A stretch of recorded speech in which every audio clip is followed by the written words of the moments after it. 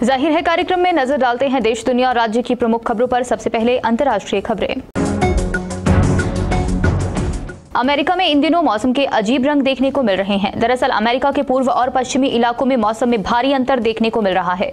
पूर्व में जहाँ तापमान औसत के नीचे है और कड़ाके की ठंड चल रही है, वहीं पश्चिम में तापमान औसत से 10 से 20 डिग्री सेल्सियस तक ज़्यादा है और लोग तेज गर्मी से जूझ रहे हैं। गाजा के अलहली अस्पताल में हुए विस्फोट का फलस्तीनी सरकार लगातार इसराइल पर आरोप लगा रही है। इस बीच, अमेरिका ने इसराइल का पक्ष लिया है। व्हाइट हाउस का कहना है, गाजा अस्पताल विस्फोट के लिए इसराइल जिम्मेदार नहीं है। इसराइल और हमास के बीच युद्ध के बीच ब्रिटेन के पीएम ऋषि सुनक गुरुवार को इसराइल पहुँचेंगे। ऋषि सुनक, इसराइल में पीएम बेंजामिन नित्याहू और राष्ट्रपति इसाक हरजोग से मुलाकात करेंगे। गौर रहे इससे पहले 18 अक्टूबर को अमेरिका के राष्ट्रपति जो बाइडन ने भी इसराइल का दौरा किया था और इसराइल के प्रति अपना पूरा समर्थन जताया था। अब बात करते हैं राष्ट्रीय खबरों की।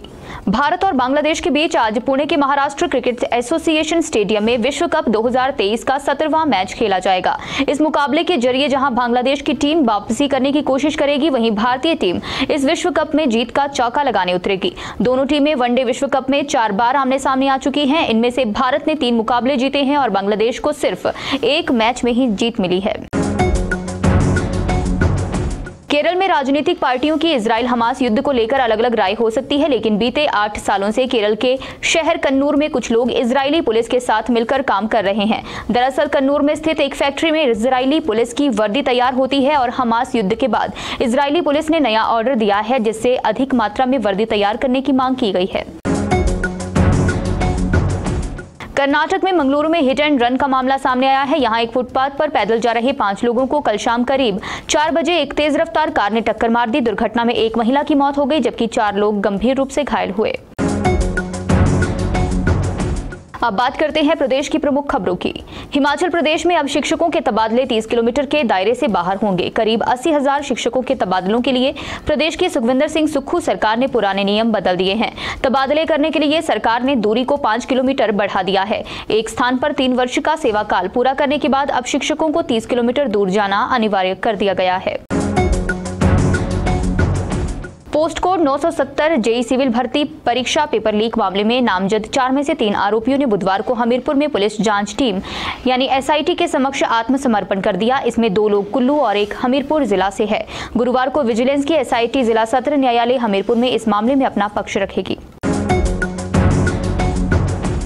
शिमला बिलासपुर फोर लेन की जद में आ रहे प्रभावितों को मुआवजा देने की प्रक्रिया शुरू हो गई है। इसमें सबसे अधिक मुआवजा लेने वाले प्रभावित को एक करोड़ पच्चीस लाख रुपए मिलेंगे। वहीं कुछ प्रभावित ऐसे भी हैं, जिन्हें मात्र पचास रुपए मुआवजा मिलेगा। बताया जा रहा है कि ये मुआवजा ज़मीन के भाव से दोगुना दिया जाएगा। अब बात करते हैं समाचार पत्र की प्रमुख खबरों की। मोदी सरकार ने नवरात्र पर केंद्रीय कर्मचारियों और किसानों को बड़ा तोहफा दिया है। केंद्रीय कर्मचारियों और पेंशनर्स के डीए में चार फ़ीसदी की वृद्धि की गई है। मुख्यमंत्री सुखविंदर सिंह सुक्खू ने कहा कि चंबा, पालमपुर, रक्कड़ और रिकोंगपियो हेलीपोर्ट से किफायती हवाई किराए पर हेलीकॉप्टर सेवाएँ शीघ्र ही शुरू होने वाली हैं। शिमला के ठियोग उपमंडल के तहत युवाओं द्वारा डाक विभाग में फर्जी प्रमाण पत्र पर नौकरी लेने का मामला सामने आया है।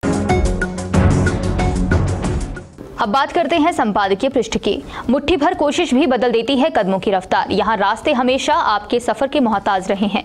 इस लेख को आप एक मुट्ठी भर कोशिश शीर्षक के साथ संपादकीय पृष्ठ पर पढ़ सकते हैं। इसके अलावा, श्रम एव जयते पी के खुराना का लेख भी यहाँ छपा है। पश्चिम एशिया में आतंकवाद से कराहती मानवता, अनुज आचार्य का लेख भी आप यहाँ पढ़ सकते हैं।